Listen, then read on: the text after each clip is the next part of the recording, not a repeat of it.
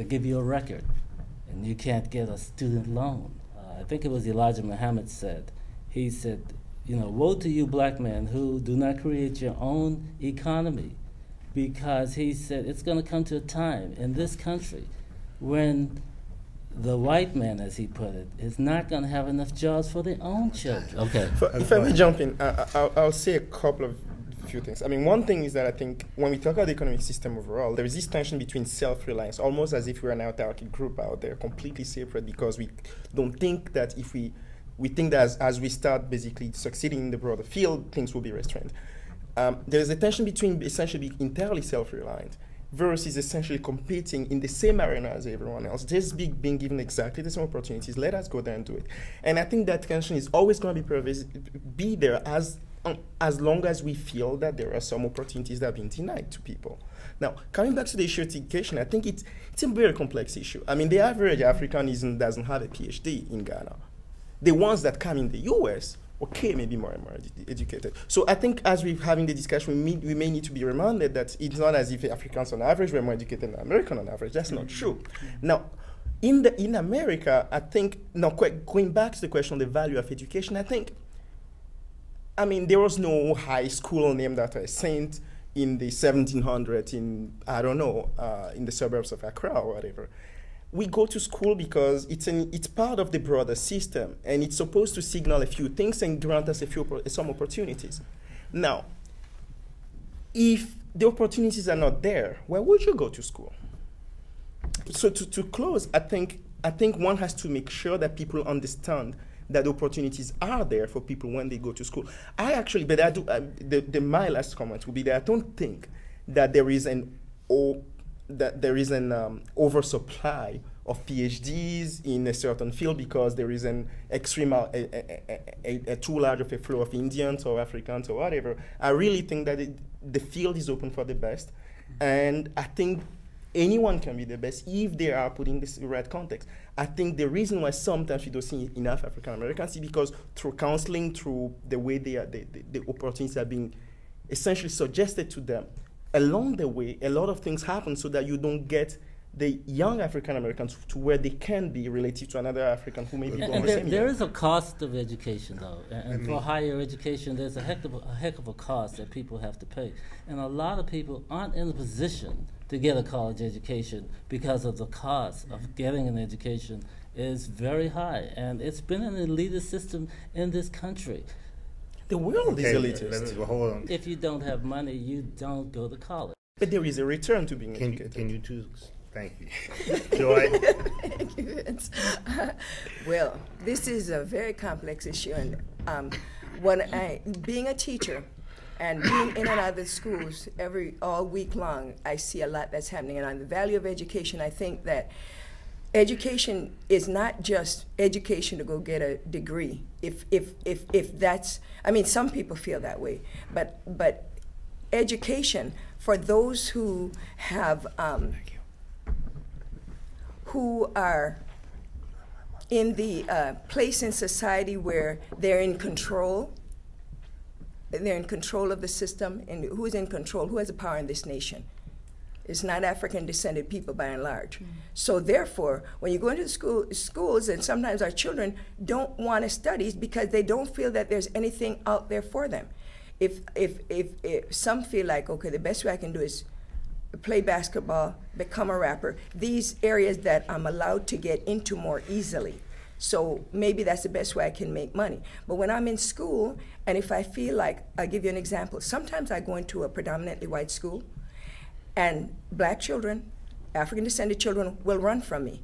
They're not accustomed to seeing somebody that looks like me in with them.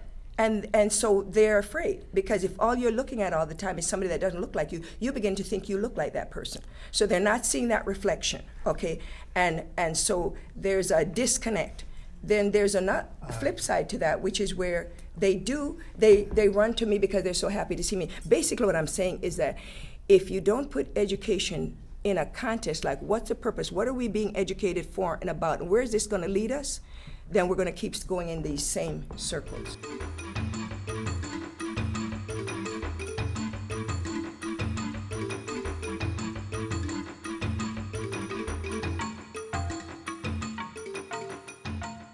I wanted to wind down with the issue of solutions.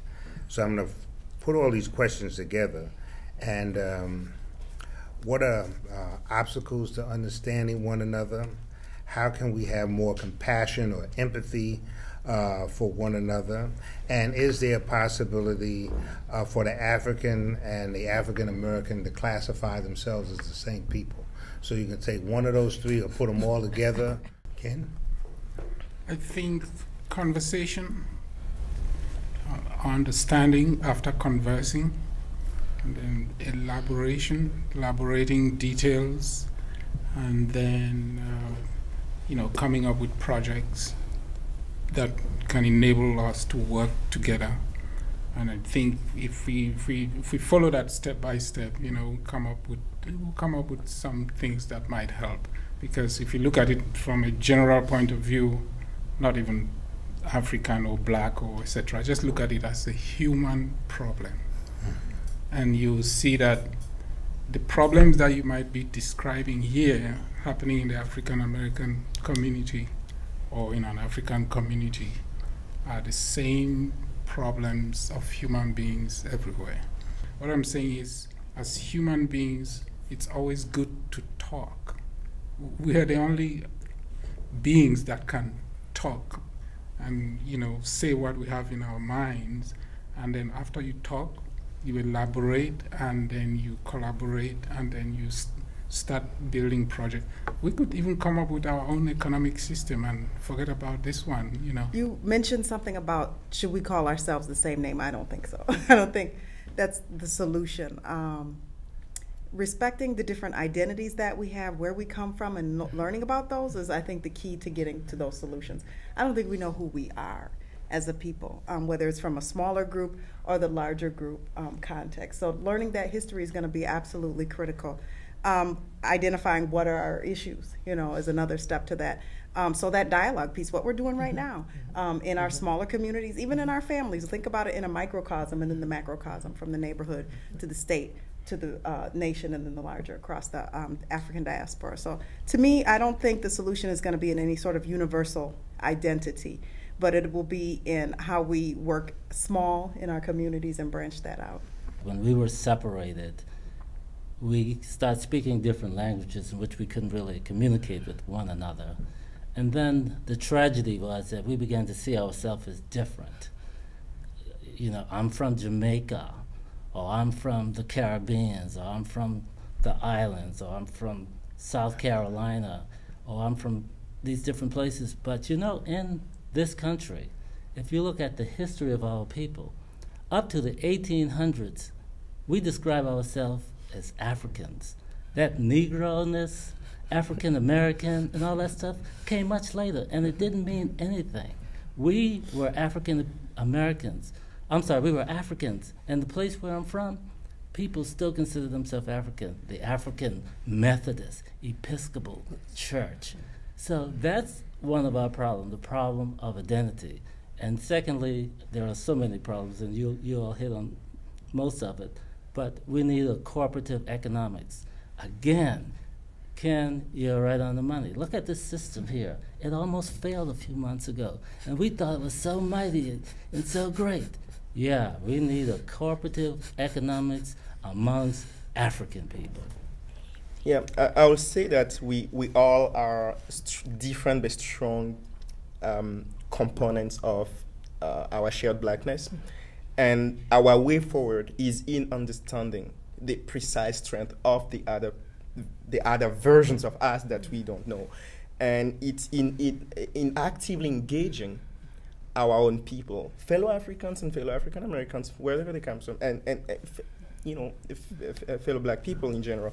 And in understanding that, putting that in the context of the broader socioeconomic and political context in which we live, I think we can understand how we can move forward. What's important? What has led us to this point? Where did we fail, respectively?